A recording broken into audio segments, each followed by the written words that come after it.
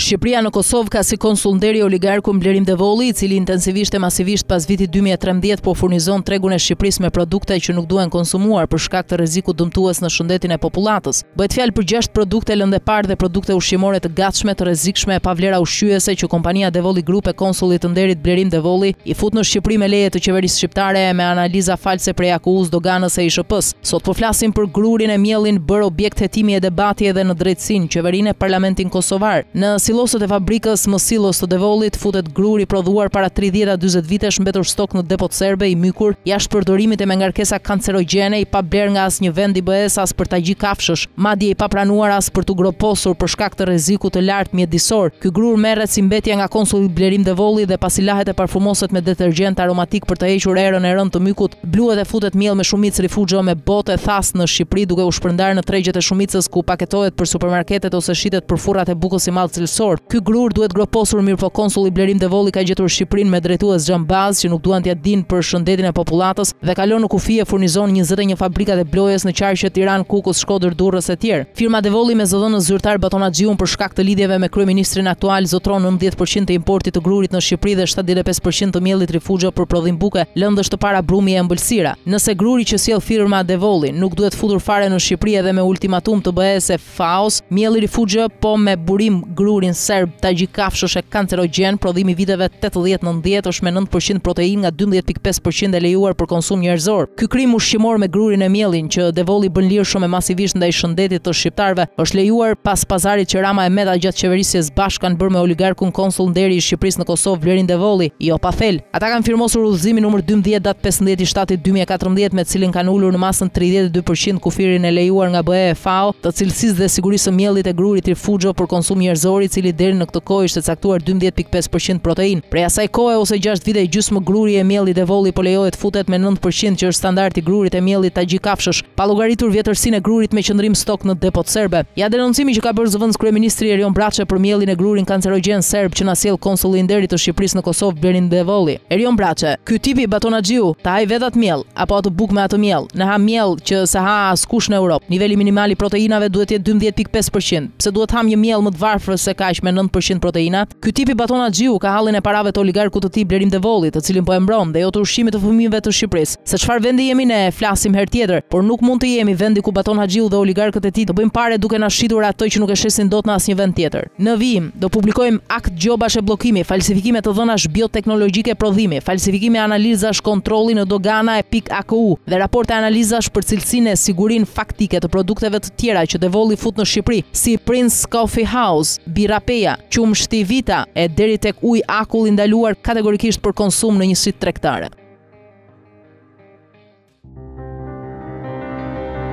Pamfleti është një platformë mediatike analitike që u lind si domosdoshmëri një tribune pa kompromis, si një zë i fuqishëm në luftën pa ekuivok ndaj krimit dhe korrupsionit politik në Shqipëri.